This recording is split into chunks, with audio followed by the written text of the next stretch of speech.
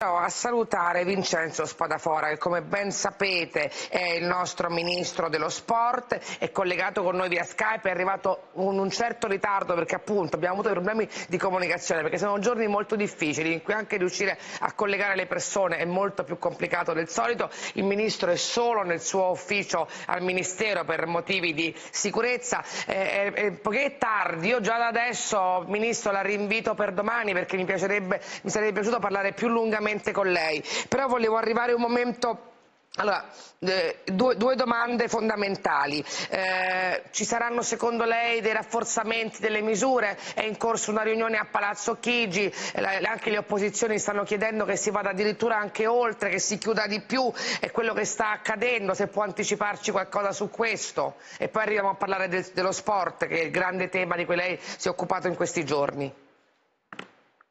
Intanto, buon, intanto, buongiorno. Io penso che questo dipenderà anche molto dalla reazione dei nostri concittadini in queste ore, perché purtroppo anche i provvedimenti che abbiamo preso nelle ultimissime ore eh, sono stati necessari proprio perché abbiamo visto che purtroppo non c'era una grande consapevolezza della difficoltà che sta vivendo il Paese. Purtroppo non c'è stata, mi spiace dirlo, soprattutto tra i ragazzi. Io capisco benissimo quanto sia difficile per un giovane eh, subire delle limitazioni, però purtroppo non possiamo più permetterci nessuna di quelle scene eh, che abbiamo visto in questi ultimi giorni di assembramento di giovani, di folle, di ragazzi sulle spiagge o altrove. Per cui questo provvedimento che noi abbiamo fatto già questa notte è già un, primo enorme passo avanti. Vediamo in queste ore, stiamo monitorando con la protezione civile minuto dopo minuto se c'è un rispetto di queste regole o se eh, sarà necessario appunto inasprirle ulteriormente.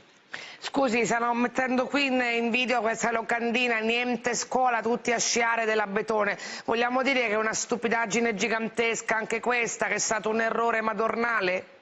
L'abbiamo vista ieri, purtroppo ce ne sono anche tante, Abbiamo, stiamo veramente denunciando questa ignoranza di tutte le persone che tra l'altro approfittano anche di questo momento magari per rilanciare comunicativamente o a livello di marketing proposte stupide come queste che non fanno altro che eh, aiutare purtroppo ancora di più eh, la possibilità di contattare